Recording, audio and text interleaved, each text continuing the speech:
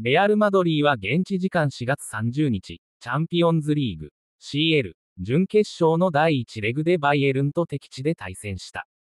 動画、クロースの圧巻アシストからビニシウスが先制弾。賞賛が集まっているのが、マドリーの先制点だ。24分、巧みな駆け引きでキム・ミンジェの背後を取ったビニシウス・ジュニオールが、トニ・クロースの絶妙なスルーパスに反応。うまく抜け出して右足で冷静に流し込んだ。この見事な崩しからのゴールに SNS 上では、完璧な裏抜け、パスがエロすぎる、天才的すぎる、魔法かな。神スルーパス、ビニシウス恐ろしい、異次元、などの声が上がっている。